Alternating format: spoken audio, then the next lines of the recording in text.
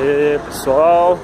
Tchau, até amanhã. Hoje Dia 14 do, de setembro Tô saindo aqui do MT que me ligaram aqui às 11h45 da manhã para vir fazer o cartão tacógrafo o sistema voltou a funcionar. E marcaram para eu vir aqui às 15 horas. Pronto, tô saindo aqui agora, são 16 e 11 Graças a Deus já está tudo resolvido. Estou indo para casa agora, vou para a estação de comboio, pegar lá o comboio e ir embora para casa. Esperar chegar o cartão em casa. Graças a Deus já está tudo resolvido, tudo liberado.